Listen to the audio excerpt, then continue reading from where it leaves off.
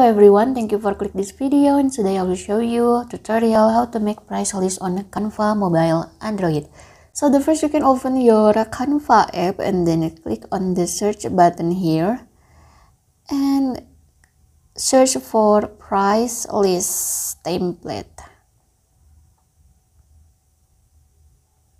to use price list Instagram story and after that I have to search the template. I will use the free template here. And um, I will choose the simple one this one. And after that you only need to change the picture. And uh, click on the replace to change it. You can uh, choose from the gallery or you can upload from the gallery also click on the upload files and then you can upload from drive or from your gallery. But I will choose um, the stock photos here. I will choose this one. To edit the uh, picture you can double click on it then move it like this.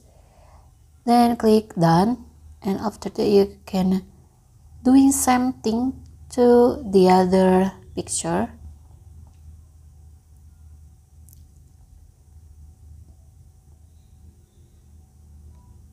After that you have to change the instagram name here. And also the price list here. If you have done to edit the price list you can click on the save button here and your design will automatically save to your storage phone. So this is tutorial how to make price list on Canva mobile Android. If you think this content is helpful for you, please click thanks below. I will really appreciate that. Thank you for watching. Don't forget to like, comment, and subscribe.